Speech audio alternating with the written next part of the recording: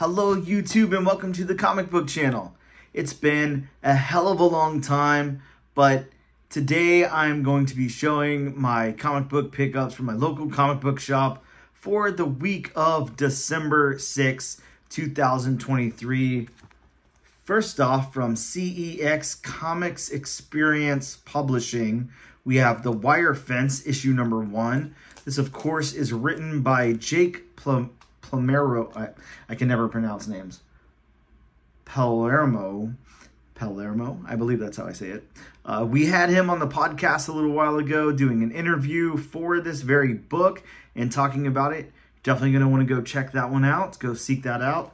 I think it's maybe issue, or sorry, uh, episode number 31, but I can't remember too well off the top of my head.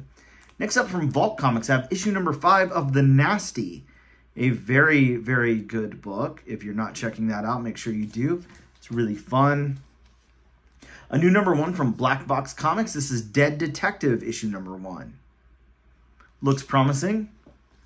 Of course, as always, I have to pick up my Archies, and this is the official comic book of Christmas. Archie Christmas Spectacular, issue number one. Just look at the cover art on that thing. It's beautiful. Love Archie books. That is awesome. Next up, we have from Uncivilized Publishing or Uncivilized Comics. Can't remember the name of the publisher, but uh, we have chapter number three of The Sickness.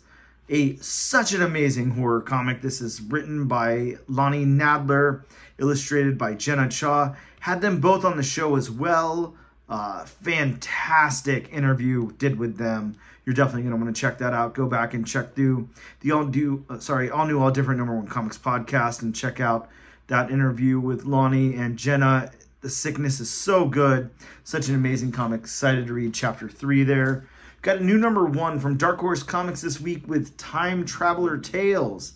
Always love my time travel stuff, and Tales and Time Travel sounds amazing. Can't wait to check that one out. We, from Boom Studios, we have a second printing on Zawa issue number one.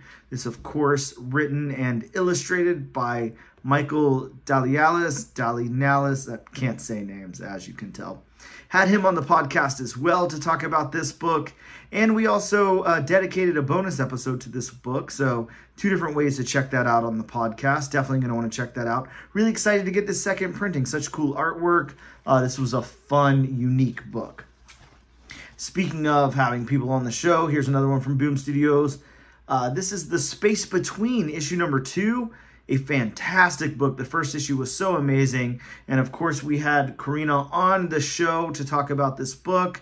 Uh, you can go back and dig through the archive. She's on the podcast as well, talking about this book before the first issue dropped. Amazing creator. Such a cool, cool creator. So glad I got to talk to her.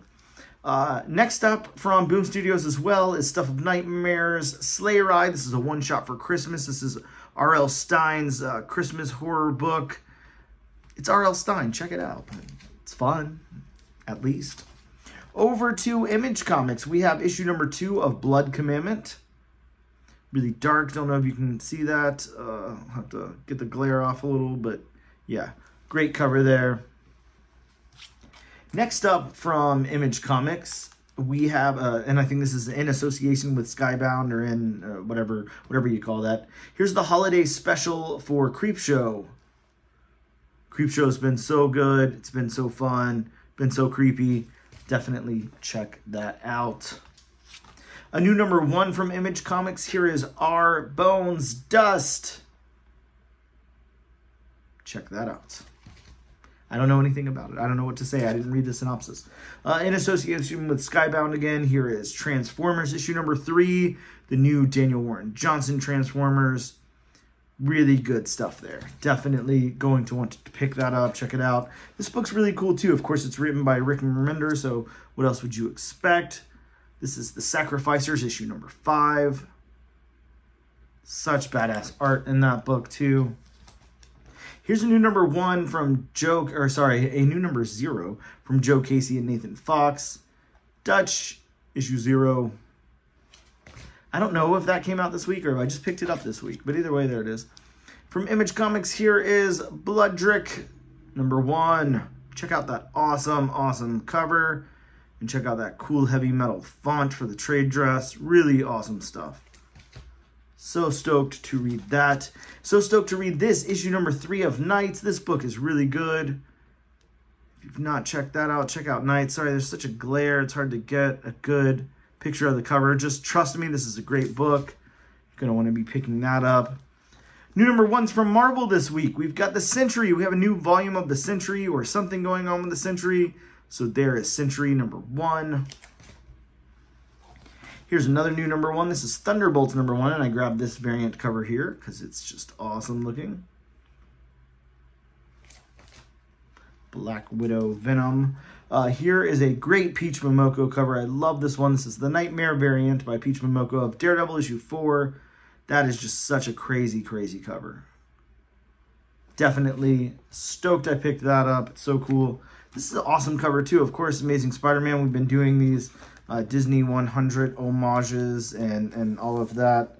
So this is issue number 39 of Amazing Spider-Man. Sorry, I couldn't remember the issue number, so take out that backing board and check it out. But of course, of the famous X-Men number one, this is a really, really cool cover. I love this. Goofy and uh, Donald and uh, Mickey there on the cover as the X-Men. Really, really fun stuff. Dig that.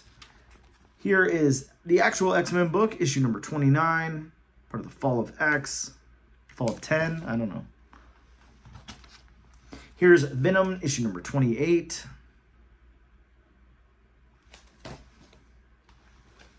We've got Avengers, issue number 8. Twilight Dreaming, part 2.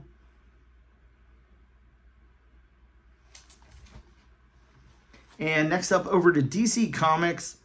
Of course, the amazingly, amazing, well-written Kelly Thompson, uh, Birds of Prey, issue number four.